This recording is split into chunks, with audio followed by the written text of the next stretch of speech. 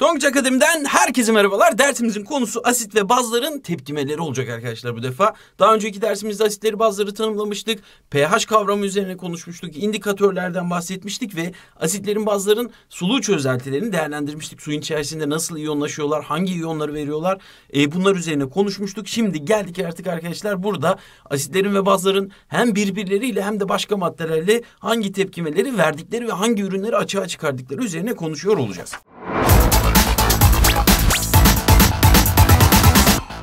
Peki neler olacak konularımızın içerisinde? Öncelikle nötralleşme tepkimeleri diyeceğiz arkadaşlar. Yani az önce söylediğimiz gibi birbirleriyle nasıl tepkimeler veriyorlar? Nötralleşme tepkimelerini aslında daha önceden tanımlamış, üzerine biraz konuşmuştuk, işlemler yapmıştık. Şimdi onları biraz daha detaylandıracağız.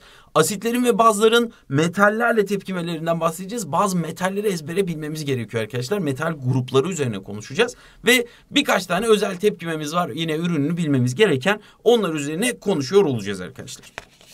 Haydi dalalım bakalım. İlk olarak nötralleşme tepkimeleri diyeceğiz. Şimdi arkadaşlar nötralleşme tepkimesini genel anlamda tanımladığımız zaman bir asidin ve bazın sulu ortamda tepkimeye girerek tuz ve su açığa çıkarmasına biz nötralleşme tepkimesi diyeceğiz. Bak tepkimenin nötralleşme olarak adlandırılabilmesi için bu koşulların hepsini sağlaması gerekiyor. Buraya dikkat ediyoruz arkadaşlar. Çünkü asit baz tepkimesi diye ayrı bir tepkimemiz de var ve onu şöyle değerlendireceğiz.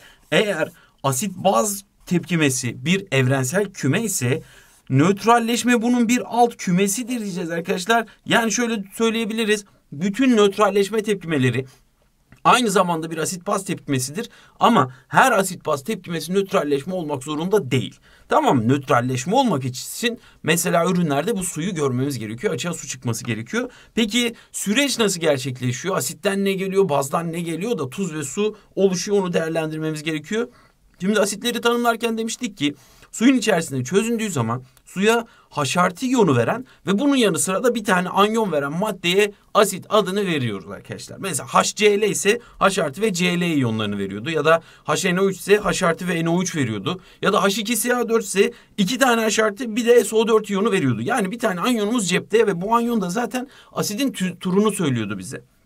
Baza gelecek olursak bazda bu defa OH iyonları veren maddelere baz diyorduk ve o OH yanında bir tane de katyon vermesi gerekiyordu. Mesela NaOH'tan bahsediyorsak OH iyonu veriyor bir de sodyumu katyon olarak ortama veriyordu değil mi? Şimdi eğer asitler ve bazlar aynı ortamda birleştirilirse bu durumda arkadaşlar asidin anyonuyla bazın katyonu gelip birleşiyorlar ve bize tuzu oluşturuyorlar. Yani bazdan katyonu asitten anyon gelerek her zaman için tuzu söyleyecek. Dolayısıyla birleşen asidi ve bazı biz biliyorsak buradan hangi tuzun açığa çıkacağını da rahatlıkla söyleyebiliriz.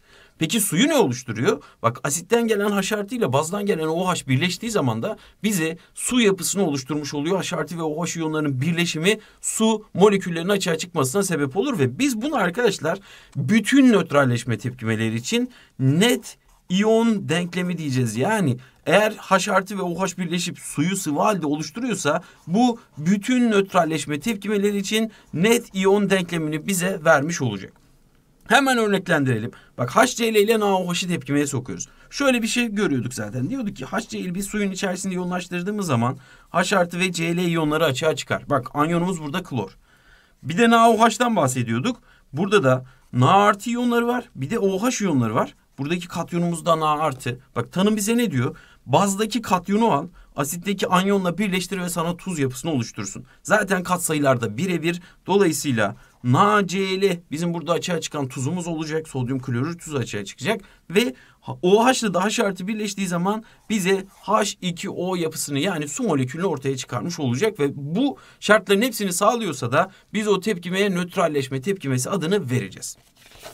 Şimdi birkaç tane örnekli tepkimeleri nasıl denkleştireceğiz bunun üzerine konuşalım. Arkadaşlar şunu yapmamız gerekiyor. Bak temelde bakacağımız şey asitten gelen H artı sayısıyla bazdan gelen OH sayısı birbirine eşit olmak zorunda ki bunlar su yapısını oluşturabilsin. Yani bir hidrojenle bir OH birleşip suyu oluşturacağına göre bunların sayısını birbirine eşitlememiz gerekiyor. Bu eşitliği de kat sayılarla oynayarak yapacağız. Mesela ilk örneğimize bakalım bak. HI var, KOH var. Şimdi HI suya bir tane hidrojen verecek, KOH suya bir tane OH verecek. Dolayısıyla bunların sayıları zaten birbirine eşit. O yüzden bir denkleştirmeye gerek yok. Yapacağımız nedir? Bazdan gelecek olan katyonu alacağız. Bazdan kim geliyor? Potasyum geliyor. Ve asitten gelen de anyonu alacağız. Asitten de anyon olarak I geliyormuş. O zaman tuzumuzun formülü Ki olacak. Artı bir tane hidrojen ve bir tane OH birleştiği zaman da su molekülünü oluşturacak arkadaşlar. Tepkimeyi bu şekilde denkleştirmiş, tuzun formülünü de ortaya koymuş olduk. Diğerine bakalım. Bak H2CO3 MgOH2. İki tane hidrojen geliyor, iki tane OH geliyor. Bak amacımız bunların eşitliğini sağlamaktı ya. İkisi zaten birbirine eşit. O zaman burada katsayılar herhangi bir şey yazmaya gerek yok. Bire bir olacak. Ne dedik peki? Tuzu oluştururken bazın katyonunu alacağız. Baz, bak, bazdan magnezyum geliyor. Asitin de anyonunu alacağız. Asitten anyon olarak CO3 geliyor. Yani şurada hidrojen dışında ne varsa o bizim anyonumuz olacak zaten. Ya da OH dışında ne varsa orası bizim katyonumuz olacak. Bunları birleştirdiğimiz zaman da bize tuz formülünü vermiş olacak. Artı suya gelecek olursak şimdi su molekülünün oluşacağı kesin. Ama şuna dikkat ediyoruz. Bu defa buradan iki hidrojen buradan iki OH geldi. Dolayısıyla iki molekül su oluşturmaları gerekiyor. Yani suyun katsayısının böyle bir durumda iki olması gerekiyormuş. Geliyoruz diğer örneğe.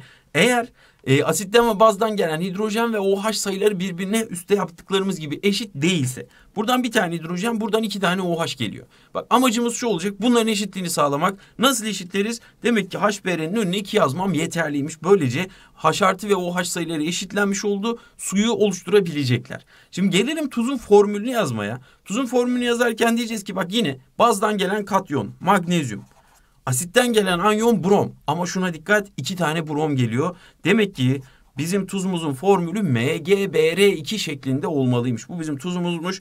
Artı açığa su çıkacak. Peki kaç tane su çıkacak? 2 OH, 2 OH artı oldu şu anda. Topladığımız zaman 2 tane H2O yapısını ortaya çıkarmış oldular. Gelelim biraz daha karmaşıklaştırılmış haline. Buradan 2 tane hidrojen, buradan 3 tane OH geliyor böyle bir durumda. Ne yapmamız gerekiyor arkadaşlar? Eşitliği sağlamak için 2 tane verenin 3 yazarız katsayısına. 3 tane verenin katsayısına da 2 yazarız. Böylece her ikisi de 6 tane o hidrojen ve OH vermiş olur ve eşitliği sağlamış oluruz. Şimdi gelelim tuzun formülünü yazmaya. Ne diyoruz? Bazdan katyon gelecek. Bak alüminyum bizim oradaki katyonumuzmuş. Ama katsayıdaki 2 ne diyor bize? Alüminyumdan 2 tane varmış bu tuzun yapısında. Geçiyoruz e, anyonu belirlemeye yani aside. 3 tane SO4 varmış bizim anyonumuz olarak. Eğer kök bir anyon varsa ve altına başka bir sayı yazacaksak bunu parantez içerisinde belirtmek zorundaydık arkadaşlar. O zaman Al2SO4 3 şeklinde bir formül çıkaracağız. Tuzumuzun formülü buymuş. Artı suyun formülünü yazdıktan sonra kat sayısını belirleyelim. 6 tane H artı 6 tane OH bir araya geldiği zaman tabii 6 molekül su oluşturacaklardır. Tepkimemizin denkleşmiş hali de budur diyeceğiz. Geçiyoruz amonyak. Arkadaşlar bunu gördüğümüz zaman bak NH3'ü gördüğümüz zaman şöyle bir dikkat kesilmemiz gerekiyor. Çünkü amonyak susuz baz olarak adlandırılıyordu. Ve diyordu ki amonyağın suyun içerisinde iyonlaşma denklemi diğerlerinden farklı. Amonyak bazdı. Baz olmasına rağmen yapısında OH yoktu. Bunu nasıl sağlıyor peki? Yani suyun içerisinde OH oluşumunu nasıl sağlıyordu? Suyun içerisinden hidrojen çalıp NH4 iyonları oluşturuyordu ve açığa OH çıkmasına sebep oluyordu. Bu yüzden biz onu baz olarak adlandırıyorduk. Suya OH vermeyip sudan hidrojen çalarak bu tepkimenin gerçekleşmesini sağladığı için de biz amonyağa susuz baz diyorduk. O asitlerle verdiği tepkimeden açığa su çıkarmayacak arkadaşlar. Buna dikkat edeceğiz. Peki nasıl gerçekleşecek tepkimeleri? Bak süreç aynı. Diyoruz ki bazdan katyon gelecek. Şimdi baz amonyak, amonyağın bir katyon oluşturması gerekiyordu. Ve diyeceğiz ki amonyağın katyonu her zaman için amonyum yani NH4'tür. O zaman bu NH4'e dönüşmeli. Peki nasıl NH4'e dönüşecek? Asitteki şu bir tane hidrojen var ya onu yapısına katacak ve NH4 iyonu oluşturacak. Yani katyonumuz NH4 olacak tuzumuz için. Bir de anyona ihtiyacım var. Asidin anyonunu da biz tuzun anyonu olarak kullanacağız. Yani NH4NO3 amonyum nitrat bizim tuzumuz olacak. Suyun katsayısı kaç sorusu olursa sıfır diyeceğiz. Çünkü su buradan açığa çıkmayacağız arkadaşlar. E, bu yüzden zaten amonyak susuz baz olarak adlandırılıyor. Ve şuna dikkat edeceğiz. Bu tepkime bir nötralleşme tepkimesi değildir. Çünkü nötralleşme tepkimesinin koşulu neydi arkadaşlar? Koşul şuydu. Açığa su çıkması gerekiyor tuzun yanı sıra. Burada sadece tuz çıktığı için hiçbir amonyak tepkimesini nötralleşme tepkimesi olarak kabul etmeyeceğiz. Burada amonyan nötralleşmesine hani bir tık daha karmaşıklaştırılmış örnek verelim. E, orayı da geçmeden. Mesela şurada asit iki tane olsaydı hidrojen iki tane olsaydı ne olacaktı? H2SO4 ile NH3'ü tepkimeye soktuğumuzu düşünelim. Böyle bir durumda şunu yapacağız arkadaşlar. Şimdi iki tane hidrojen var ya. Amonyak da her bir amonyak molekülüne bir tane hidrojen almak istiyor. Dolayısıyla buradaki iki hidrojeni almak için iki tane amonyak molekülüne ihtiyacımız olacak. NH3'ün kat sayısına 2 yazacağız. Dolayısıyla oluşan NH4 sayısı 2 olacak. Yani bu defa katyonun altına 2 yazacağız. Anyon olarak da elimizde SO4 var. Tuzumuz budur diyeceğiz. Nötralleştirmeyi böylece tamamlamış olacağız. Şimdi geçelim diğerine. Organik bir asit verilirse bize. Yani şu COOH yapısını görüyorsak. Bak unutmuyoruz arkadaşlar organik asitler şu yapısında COOH olan asitler sadece ve sadece sondaki hidrojeni verir. Geri kalan yapı komple anyondur. Dolayısıyla öncesinde kaç tane e, hidrojen olduğu çok umurumuzda değil. Biz ne diyeceğiz? Bu bir tane hidrojen veriyor. Bu iki tane OH veriyor. O zaman eşitlenmesi için COOH'ın kat sayısını iki yapmamız gerekiyor. Böylece hidrojen ve OH'lar eşitleşmiş olacak. E, bazdan yine katyonumuz gelecek. Her zaman olduğu gibi kalsiyum aldık. Asitten gelen anyon nedir şu anda? Dedik ki şu sondaki hidrojen suyun yapısına gidecek. Geri kalan kısım bizim anyonumuz ve iki tane var. Dolayısıyla HCOO yazdık kaldık burada. Sondaki hidrojen gitti. Bundan da iki tane varmış. Bak burası bizim tuzumuzun formülü oldu. Artı Su açığa çıkması gerekiyor. Peki kaç tane su çıkıyor? Bak 2 OH iki tane hidrojenle birleştiği için iki tane su molekülünün açığa çıkmasına sebep oluyor. Denkleştirme işlemlerini ve tuzların formülünü belirleme işlemlerini bu şekilde yapıyor olacağız. Tabi örnek çözmeye devam edelim birkaç tane daha iyice oturmasını sağlamak için. Şu tip bir soru karşımıza gelirse ne yapacağız mesela? Diyor ki bize 6'şar mol H2SO4 ve FeOH3 bileşiklerinin tam verimli nötralleşme tepkimesiyle ilgili aşağıdaki soruları cevaplayınız. Arkadaşlar hemen öncüllere bile gitmeden biz bu denkleştirmeyi bir yapalım. Tepkimeyi yazalım. Bak ne diyor bize? H2SO4'ü al yani sülfürik asidi al. Demir 3 oksit bileşiği ile demir 3 hidroksit bileşiği ile özür diliyorum. Tepkimeye sok. Şimdi bu iki tane H artı verecek. Bu üç tane OH verecek. Denkleştirmeyi nasıl yapıyorduk? 3 buraya 2 buraya yazdığımız zaman H artı ve OH sayılarını birbirine eşitliyorduk. Buna göre bazdan her zaman katyon gelecek. Yani demir bizim katyonumuz olacak ve kat sayısının 2 olduğunu oradan görüyoruz. E, asitten de anyon gelecek. Anyon olarak SO4 gelmesi gerektiğini görüyoruz ve 3 tane olduğu için bunu parantezle belirtiyoruz. Bütününü kapsamak zorunda çünkü o 3. Artı 6 tane H artı ile 6 tane de OH birleştiği için 6 molekülde suyun açığa çıkmasını bekliyoruz. Şimdi bizim nötralleşme tepkimemiz buymuş denk haliyle yazdık.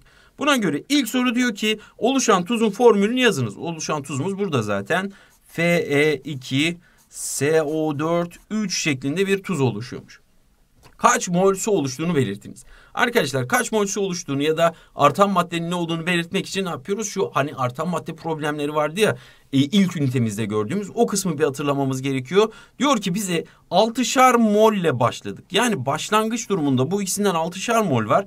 Bunlardan elimizde hiç yok. Şimdi diyeceğiz ki bunlardan hangisi biter? Sınırlayıcı bileşeni bulmak zorundayız. Eğer 6 mol sülfürik asidi harcarsam, kas sayısı 3 olandan 6 harcarsam, 2 olandan 4 harcamam yeterli olacak. Dolayısıyla bu durum elverişli.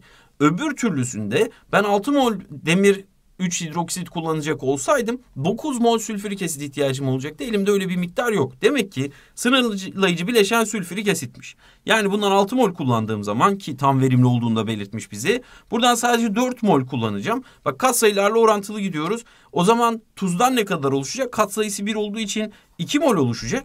Sudan ne kadar oluşacak? Bak kat sayısı 6 olduğuna göre bunun iki katı kadar oluşması lazım. Yani 12 mol su oluşmasını bekleyeceğiz. O zaman son durumda Sülfürik asit bitti tamamen. Elimde hiç kalmadı. 2 mol demir 3 hidroksit var. Elimde bundan 2 mol var. Buradan 12 mol var. Şimdi dolayısıyla artık kaç mol su oluştuğunu biliyorum. 12 mol su elde etmiş olduk. Tepkime sonrasında ortamın asitlik bazlık durumunu belirtiniz diyor. Arkadaşlar tepkime tamamlandı ve sülfürik asit yani asit tamamen bitti. Bizim elimizde sadece baz kaldı. Demek ki ortam bazikmiş. Yani artan madde hangisi ise o bize ortamın asitlik mi yoksa bazik mi olduğunu söyleyen e, değer olacak. Bir sonraki soruya geçelim. Yine benzer nitelikte bir soru aslında. Bize diyor ki dörder mol nitrik asit ve kalsiyum hidroksit içeren çözeltilerin tepkimesi sonucu oluşan yeni çözeltinin hem mavi hem de turnus, kırmızı turnusol kağıdın rengini etkilemeyecek hale gelmesi için ortama hangi maddeden kaç mol eklenmelidir? Bak e, ikisini de etkilememesi için ortamın e, nötral olması gerekiyor. Yani H artı ve OH sayılarının birbirine bir şekilde eşitlenmesi gerekiyor. Daha doğrusu asit ve bazın ikisini de bitmesi gerekiyor. O zaman biz bu tepkimeleri yazalım ve denkleştirelim. Bak şimdi bu ikisini yazdık bileşikleri ve denkleştirmeye geçtik. İki tane OH var sadece bir tane H artı var. Böyle bir durumda ne yapıyorduk? Bunun katsayısına iki yazıyorduk. Dolayısıyla ne oluyor peki tuzumuz? Kalsiyum bazdan gelecek. NO3 asitten gelecek anyon olarak ve bundan iki tane olduğunu belirledik. Bak tuzumuzun formülü buymuş. Kalsiyum nitrat tuzu geliyormuş. Artı iki molekülde su açığa çıkmasını bekliyoruz. Şimdi denkleştirmeyi tamamladık. E, tuzumuzu da belirledik. Az önce yaptığımız işleme bir geçelim. Bize dörder mol başlangıçta olduğunu söylüyor. Bundan da dört mol var. Bundan da var. Başlangıçta tabii ki ürünlerden elimizde hiç yok. Hangisi biter sorusuna cevap alalım bir. Eğer kalsiyum hidroksitin tamamını bitirecek olursam benim 8 mol nitrik asidi ihtiyacım olur. Kat sayısı 2 olduğu için. Demek ki buradaki sınırlayıcı bileşen nitrik asitmiş. Yani kat sayısı büyük olan. O zaman 4 mol nitrik asit kullanırsam sadece 2 mol kalsiyum hidroksit kullanmam yeterli olacak. Buna karşılık olarak kat sayısı yine 1 olan kalsiyum nitrattan 2 mol oluşacak ve kat sayısı 2 olan sudan 4 mol oluşacak. Yani son durumda nitrik asit bitecek. Elimde 2 mol kalsiyum hidroksit kalacak. 2 mol kalsiyum nitrat var, 4 mol de su var. Şimdi sorunun özüne geçelim. Soru bize diyor ki e, bu ortam turnusol kağıdının rengine hiçbir şekilde etki etmesin. Bunun için ne olması gerekiyor? Şu elimde fazladan kalan kalsiyum hidroksitten kurtulmam gerekiyor. O zaman diyeceğim ki kalsiyum hidroksitin iki molünü birden harcamak istiyorsam bunun iki katı kadar mol sayısında nitrik asidi ihtiyacım olur benim. Dolayısıyla ortamı ben 4 mol HNO3 eklemeliyim ki ortamdaki e, durum nötral olsun ve e, pH tam 7 olsun. E, çözelti turnusol kağıdının rengine her halükarda etki etmesin arkadaşlar. Ne yaptık? Artan maddeyi bulduk ve bu artan maddeyi nötralleyebilecek madde kaçtır, ne kadardır onu belirlemiş olduk. Geçiyoruz metallerle tepkimelerinden bahsetmeye. Arkadaşlar şimdi metal gruplarını öğreneceğiz ve buradaki grupların içerisindeki metalleri birazcık ezbere bileceğiz. Ezberlememiz gereken 11 tane metal olacak. İlk grubumuz soy metaller arkadaşlar. Sadece iki tane soy metal var. Altın ve platin bizim ezbere bilmemiz gerekenler bunlar yani. Bunlarla ilgili şu bilgiyi bileceğiz. E, soy metaller yani altın ya da platinden herhangi biri hiçbir asitle ve bazla tepkime vermez. Bunların zaten soy olmaları e, oradan geliyor. Hani soy gazlar hiçbir şeyle tepkime vermiyorlar ya. Soy metaller de benzer şekilde asitlerle de bazlarla tepkime vermiyorlar. Burada sadece istisna olarak şunu bulacağız kral suyu diye bir çözelti elde edersem bu çözeltinin içerisinde bir hacim nitrik asite karşılık üç hacim hidroklorik asit var.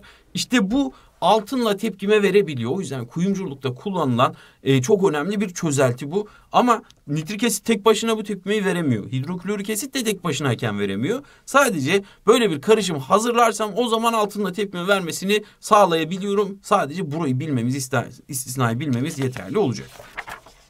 Bir diğer metal grubumuz yarı soy metaller arkadaşlar. Burada da 3 adet metalden bahsedeceğiz. Bakır, gümüş ve civa olmak üzere. Bu isimleri de yine ezbere bileceğiz.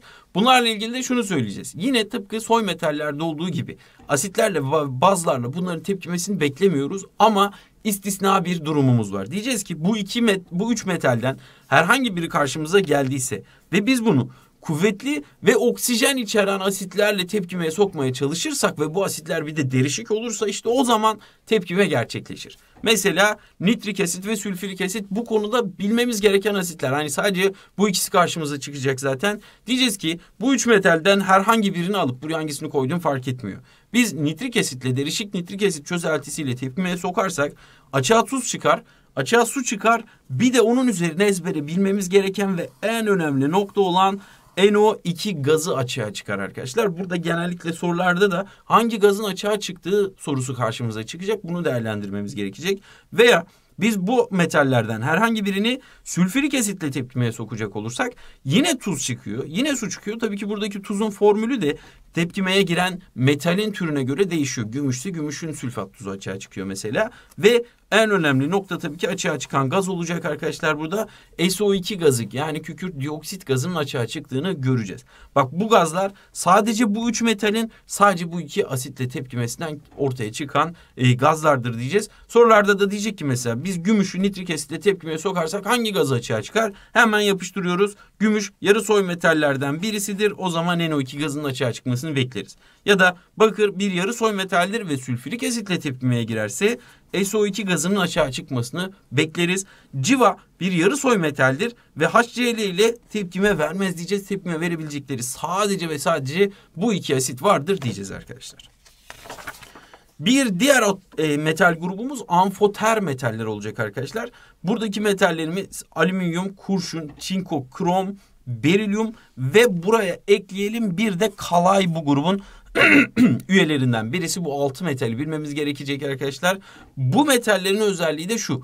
Bunlar amfoter olma özelliği aslında bu isim buradan geliyor hem asitlerle hem de bazlarla tepkime verebilen metaller bunlar. Yani az önce gördüğümüz soy metaller ve yarı soy metaller aktiflikleri oldukça düşük metaller. Ama amfotör metaller tam tersi çok daha aktif. Tepkimeye girme istekleri çok daha yüksek olan metaller. Bunlar sadece asitlerle değil bazlarla da tepkime verebiliyorlar ve her ikisinden de açığa tuz ve yanında hidrojen gazı açığa çıkarıyorlar. Bilmemiz gereken yine e, burada açığa çıkan gaz olacak arkadaşlar. Mesela dedi ki bize çinkoyu HI ile tepkimeye sokuyoruz. E, asit olduğuna göre tabii ki hidrojen gazının açığa çıkmasını bekleyeceğiz. Ya da kurşun sülfürik asitle tepkimeye giriyor. Bak genelde şu karıştırılıyor. Sülfürik asidi gördüğümüz zaman hemen SO2'ye yöneliyoruz ama şuna dikkat. Bu sadece yarı soy metallerle SO2 gazı açığa çıkarır. Bir amfoter metalle karşılaştığı zaman açığa çıkaracağı gaz H2 gazı olacak. Veya KOH gibi bir bazla tepkimeye girdiği zaman da H2 gazı çıkacak.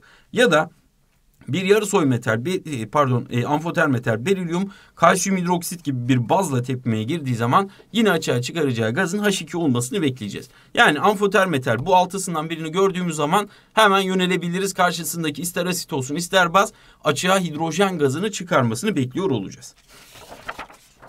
Dördüncü ve son metal grubumuz ise aktif metaller grubu olacak arkadaşlar. Bunlar için diyeceğiz ki hani az önce ezberlediğimiz metaller vardı ya onun dışında kalan bütün metaller aktif metallerdir zaten. Ve bunların tepkimesinden de e, asitlerle verdiği tepkimeden hidrojen gazı açığa çıkmasını bekliyoruz. Tıpkı e, amfoter metallerde olduğu gibi tuz ve yanında hidrojen gazı çıkacak. Ama bunları amfoter metallerden ayıran özellik şu. Onlar hem asitlerle hem bazlarla bu tepkimeyi veriyordu. Aktif metaller bazlarla bu tepkimeyi vermez. Yani açığa hiçbir şey çıkmaz öyle bir tepkime gerçekleşmez diyeceğiz. Mesela KHBr dedi e, bir asitle tepkimeye giriyor ve potasyum bir aktif metal o zaman hemen diyoruz ki buradan H2 gazı açığa çıkmalı. Ya da kalsiyum nitrik asit. Bak nitrik asiti gördük diye NO2 gazı çıkacak demiyoruz. Bu bir yarı soy metal değil. Aktif metal, aktif metalse H2 gazı çıkmasını bekliyoruz. Demir sülfürik asit yine bir aktif metalin e, bir asitle tepkimesi açığa çıkan gaz SO2 değil H2 olacak yine böyle bir durumda. Demiri sodyum hidroksitle tepkimeye sokmaya çalışırsak hiçbir şey elde edemeyiz. Neden? Bu çünkü bir bazdır. Aktif metaller bazlarla tepkime vermez dedik. Bunun yerine mesela alüminyum koysaydık diyecektik ki H2 gazı açığa çıkar çünkü alüminyum bir amfoter metaldir. Şimdi burada e, birazcık ezberimiz var arkadaşlar. Metalleri bileceğiz ve metallerin e, kimlerle tepkimeye girip hangi ürünleri açığa çıkardığını tabii ki özellikle de hangi gazları açığa çıkardığını bilmemiz şart çok önemli. Gelelim özel tepkimelere. Bazı özel tepkimeler var dedik. Mesela cam, seramik, toprak gibi. Toprak ve toprağın ürünleriyle e, tepkime veren metallerden, bahs asitlerden bahsedecek olursak arkadaşlar hiçbir asit ve hiçbir baz bu tepkimeyi vermiyor bir tanesi hariç. O da hidroflorik asit arkadaşlar. Bak bunu unutmuyoruz. Hidroflorik asit zayıf bir asittir ve zayıf asit olmasına rağmen bu çok önemli ve istisna bir tepkimeyi verir. Camla, seramikle ve toprakla tepkimeye girer. Silisyum tetrafluorür gazı açığa çıkarır. Buradaki gazı ezbere bilmek zorunda değiliz. Çok önemli değil ama hidroflorik asidin bu özelliğe sahip olduğunu bilmemiz gerekiyor. Ve sorularda da şöyle karşımıza geliyor. Hangi asit cam kapta saklanamaz? Bak bu soru sıklıkla karşımıza çıkacak. E, hangisi saklanamaz? Bir tane var cevabımız o da HF olacak. Çünkü e, diğerlerinin hiçbir camlarla ya da toprakla ya da seramikle tepkime vermezken hidroflorik asit bu tepkimeyi verir diyeceğiz. Bir diğer özel tepkimemiz ise karbonatlı bileşikler arkadaşlar. Herhangi bir bileşiğin, herhangi bir tuzun sonunda şu CO3'ü görüyorsak ve tepkimeye girdiği madde bir asitse her türlü açığa karbondioksit gazını çıkaracaktır arkadaşlar. Mesela kalsiyum karbonat hidroklorik asit. Bak açığa tuz çıkıyor, su çıkıyor. Bir de karbondioksit gazı çıkıyor. Bizim ezbere bilmemiz gereken gaz da burada karbondioksit gazı olacak. Burada önemli değil kalsiyum, magnezyum ya da herhangi bir metal olabilir. Yeter ki burada bir karbonat olsun. Burada da yeter ki bir asit olsun. Hangi asit olduğu hiç fark etmiyor. Bizim bilmemiz gereken önemli olan nokta ürün olarak açığa karbondioksit gazını çıkarıyor oluşu. Hemen o zaman bir tane soru çözelim bakalım.